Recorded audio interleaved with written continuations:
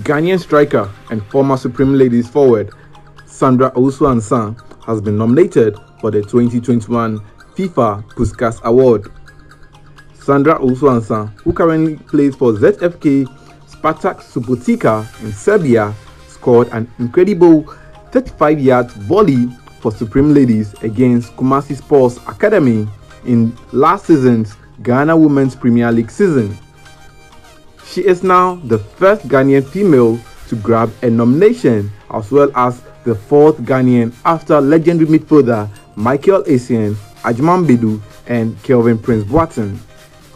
Her goal will compete with other out-of-the-world strikes like Luis Diaz's bicycle kick for Colombia against Brazil in the Copa America. Erik Lamela's Rabona for Tottenham against Arsenal and Patrick Schick's halfway goal for Czech Republic against Scotland in the 2021 Euros as well as six others. The award was won by Tottenham and South Korean forward Son Heung-min for his marvelous solo goal for the North London side against Burnley last season in the English Premier League. The winner for the 2021 Puskas Award will be announced in December as voting for the best goal has already commenced. FIFA legends and FIFA registered football fans are eligible to vote. For Sandra Owusu-Ansah, despite participating in several CAF and FIFA tournaments from the under 17s to the under 20 level, this is her biggest recognition on the international level. She won the Sports Writers Association of Ghana SWAG Award Most Promising Player of the Year in 2016 and got nominated for CAF Youth Player of the Year in 2017.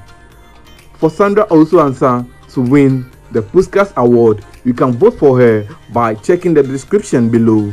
But in the meantime, let's check out her superb goal that got nominated for the 2021 FIFA Puskas Award.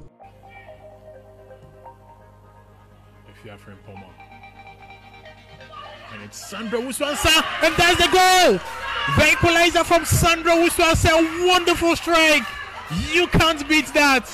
What a wonder goal! From way off her line on the half volley.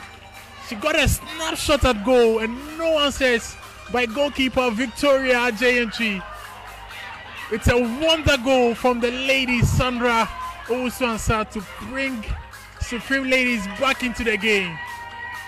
And this goal was a wonder, wonder, wonder goal. So it's 1 0 here at the